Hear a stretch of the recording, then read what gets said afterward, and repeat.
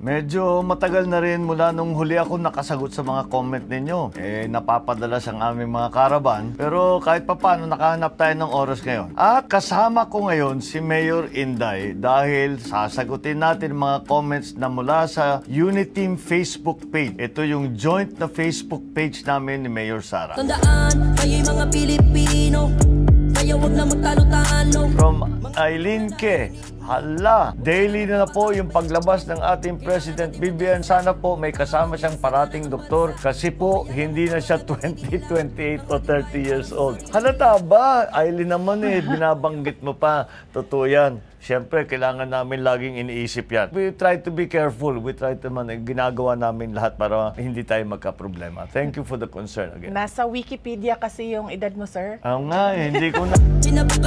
Galing kay. Yasmin BC Bouchard. Huwag naman po sobrang hila sa mga braso nila at baka mabali na. Grabe, ingatan po sana ang susunod na Pangulo at pangalawang Pangulo ng Pilipinas. Nahihila talaga tayo kung minsan. Pero alam nyo, okay lang yan. Eh, kahit na nagagalos, eh, ibig lang sabihin, eh, talagang very enthusiastic ang ah, pagtanggap sa amin. Kaya yung mga yung mga ganyan na eh, pag hinihili, parang halik sa amin yan. Kaya wag yung wag yung inaalala po yun. From Lasel Natividad. Walang kaarte-arte si Sara. Talaga nakadungaw din, di takot mahulog makalapit lang sa tao. BBM Sara, God bless.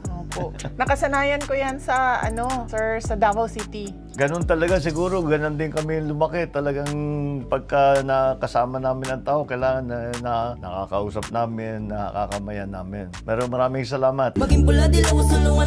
From Grefaldeo Zenit, kung ako yan, papasok pa lang ng wortas na traffic, di na ako papasok, sasama na lang ako sa caravan. Basta't nakaangkas sa SPG. Thank you. Siguro kung uh, kaya nyo naman mag-absent ng sandali, samahan nyo kami at masaya yung aming mga caravan. Oo nga po, masaya. First time ko naka-experience na nga ganito ka kalaki ng mga caravan.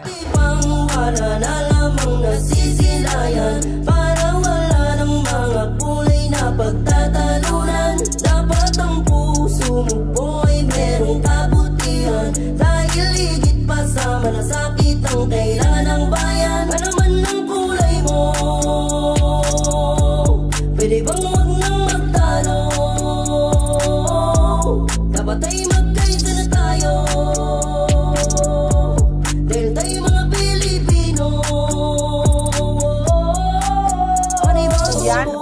ganyan dapat magkasundo ang Pangulo at pangalawang Pangulo. Nagkakaisa sila, mas madami silang mga project na magagawa. BBM Sara 2022. Sa aking palagay, tama talaga yung sinasabi mo yan. That's why, lagi kong sinasabi, mapalad talaga kaming eh, nagkasanib puwersa ang ah, Marcos at saka Duterte. Maraming salamat.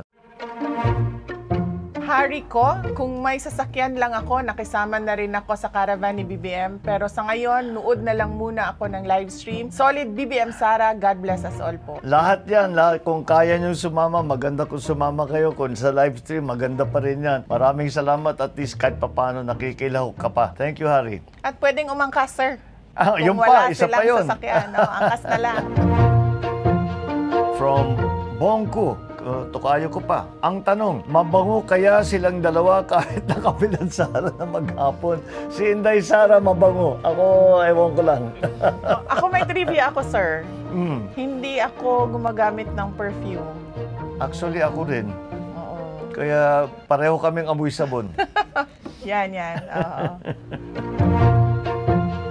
Pamela Medalyada, saan na kayo? Aabang kasi kami sa kanto. Kung di lang ako buntis, Diyos ko, nakasabit pa ko sa truck ni BBM.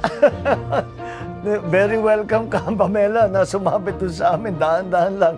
Dahil may, may inaalagaan ka. Ah, next time siguro, pagka napanganak na, uh, baka pwede na. Congratulations sa bagong baby, Pamela. From Glenilyn de la Cruz, Diyos mio, pwede naman po magpahinga. Alagaan niyo po ang health niyo ni BBM. Sobrang dami po naman naghihintay sa pag-upo niyo sa pwesto. Solid, BBM Sara. Naku naman, inaalala niyo pa kami. Talaga, kailangan kami mag-ingat. Ginagawa namin ang lahat na hindi naman siguro kami magka-problema. Opo, sir. Ah, nagpapasalamat tayo sa blessings of good health and yun din ang wishes natin para sa lahat ng ah, buong sambayanan. Eh, si ano eh, sisisihin ko si Inday Sara kasi siya yung pumapasok doon sa crowd eh, napapasabay ako eh. Napaparami yung nakapaligid sa amin. Kaya siguro mag-iingat na lang kami pagdating ng ano, sa, sa mga susunod. Maraming salamat, Glenilyn.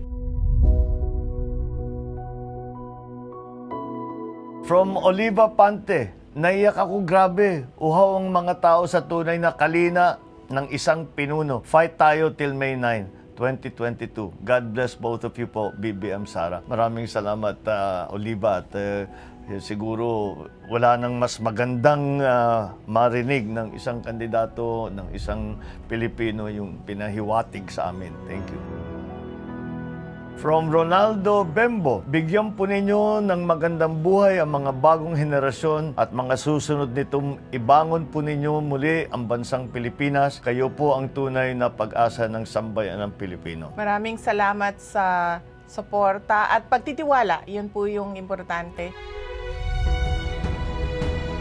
Ah, maraming salamat sa pagtitiwala ninyo sa Uniteam at sa kakayahan namin na mamuno ng ating bansa. Ganon din ang aking sasabihin. Maraming salamat at asahan po ninyo pagka tayo'y nabigyan ng eh, pagkakataon na magsilbi. Gagawin talaga namin ang lahat para pagandahin ang Pilipinas at ang buhay ng mga Pilipino. Janet Mangulad, walang tutulong sa Pilipino kundi Pilipino din, tama. Walang magmamalasakit sa Pilipino kundi Pilipino pa din, tama. At walang magmamahal sa Pilipino kundi kapwa Pilipino din.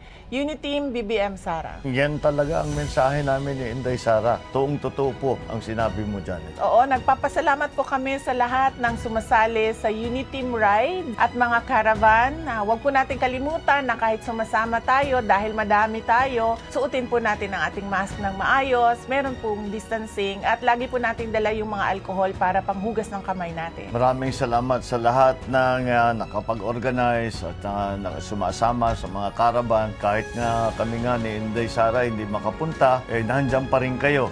Lumalabas kayo, nag-iingay, kahit sa ma- mainit na, na mainit na araw, o minsan eh, ginugutom na, pero nandyan pa rin kayo. Kaya eh, kulang ang uh, ilang salita lamang para magpasalamat kami. Pero thank you very much at ipagpatuloy natin itong ginagawa natin hanggat tayo eh makakamtan nga natin ang ating ipinaglalaban ng pagkakaisa.